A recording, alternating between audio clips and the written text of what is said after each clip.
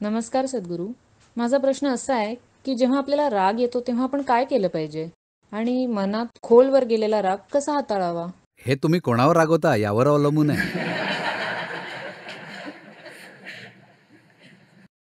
तुम्ही प्लीज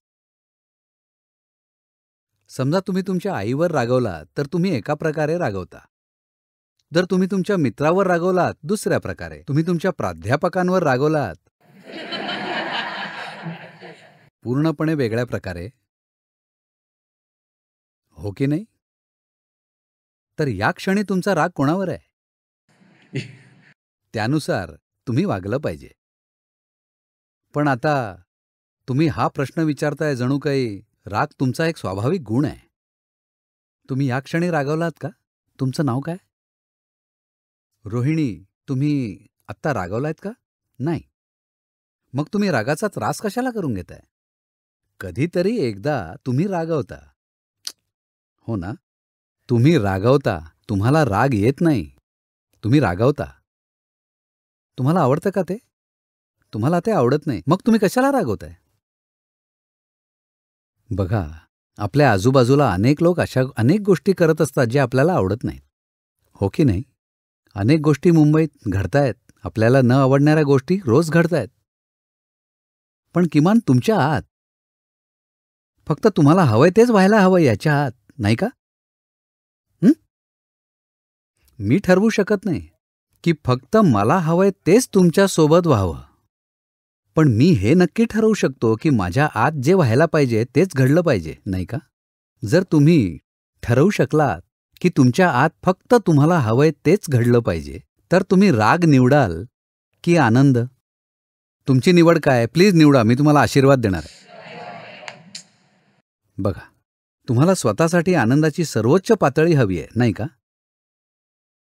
मग असं घडत का नाहीये? मी आधी म्हटल्याप्रमाणे युजर्स मॅन्युअल तुम्ही कधी वाचलंच नाहीये. हे कसं काम करतं हे पाहिलं गेलेलं नाहीये.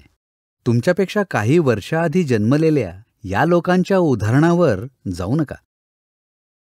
की नाही नाही नाही माझी आई पण अशीच होती माझ्या आजीलाही राग येत होता त्यामुळे मलाही राग येतो. ते तुमच्या जीवनाचे मार्गदर्शक नसावेत. मला तुम्ही याकडे पाहायला हवंय. तुमचे विचार तुमच्या भावना तुमचं शरीर तुम्हाला हवं तसं घडलं पाहिजे नाही का? हं? तुमच्यात काय घडलं पाहिजे हे जर कोणी दुसरं ठरवू शकत असेल ही पराकोटीची गुलामगिरी आहे असं आहे का नाही?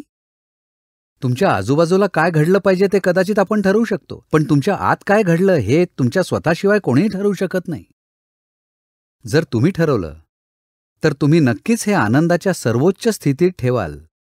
तुम्ही रागाशी लढत बसणार नाही. हे फक्त रागाबद्दल नाहीये. भीती ताण तणाव यांना वेगवेगळं पाहू नका. मुळात तुमचं मन तुमच्याकडून सूचना घेत नाहीये.